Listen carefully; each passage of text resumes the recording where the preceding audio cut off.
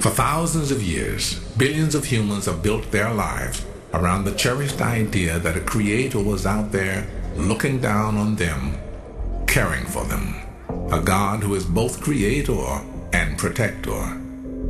Dr. Persinger's God helmet forces us to consider a radical reimagining of human experience.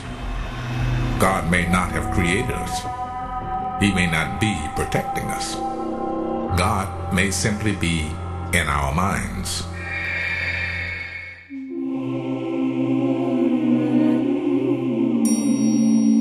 Okay, so we're going to put on the uh, helmet. Our approach was very simple. If you want to study the brain, then let's look at the brain in the laboratory with an experiment. Just follow the experience and let it come to you, all right? After putting Domenica into a sealed chamber with no light, the research team will monitor her brainwave activity for one hour. In a few minutes, Domenica's brainwaves start to order themselves into a relaxed pattern. Then Dr. Persinger activates a magnetic coil sitting over the right side of her brain. It's no more powerful than a hairdryer, but it's designed to focus its energy on a small set of brain cells in the right temporal lobe. Those cells, he believes, will stimulate in Domenica a sense that someone or something is present. We hypothesize that as the human being developed the ability to forecast their own self dissolution, their own death, which is tremendously anxiety generating, that another concept emerged which allowed that anxiety to be reduced. And whatever that concept was, it has certain parameters. It had to be infinite and forever and everywhere. Otherwise, it would have an end. If you have an end, then you have anxiety. So there had to be a concept inculcated within the brain itself that there is something out there that goes on forever. And if you somehow relate to it and can be a part of it, the idea of anxiety becomes a non event. Dr. Persinger believes the efforts of our brain's right temporal lobe to relieve the anxiety of death is what we sense when we think we are sensing the divine. And he's designed his God helmet to produce that sense on demand. Dominica? Yeah. Okay, I'm about ready to come in. Just relax. For one hour, Dominica has been shut inside the chamber without light or sound, alone with her thoughts. And perhaps also with God. And it says you felt the presence of something. Yeah, there's like other things around me. Okay, can you describe them? No, they were just bodies of nothing. Not Okay. doing anything, just, just chilling. How, how many were just chilling? Um, She actually counted them. You see her move her hand? Yeah. She was actually recreating it. Yeah.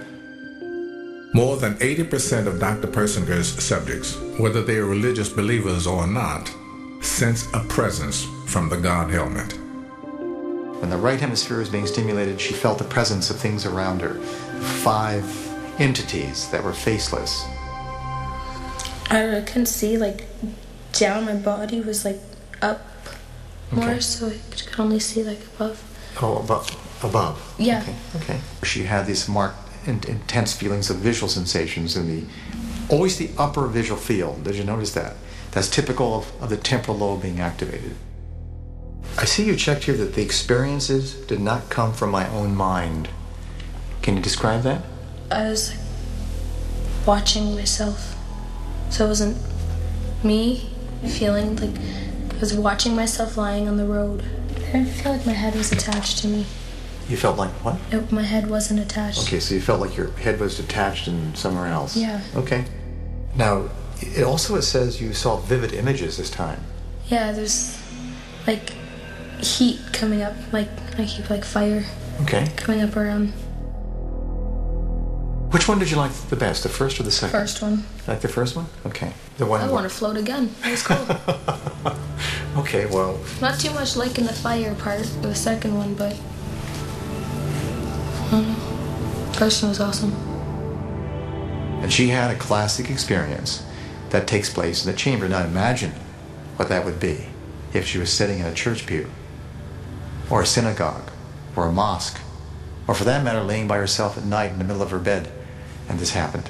Can you imagine how she would label it and the impact it would have on her entire life?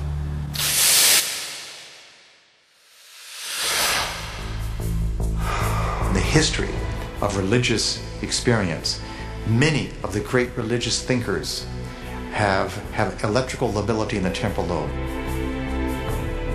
Luther, as you know, who started Lutheranism, was struck by lightning.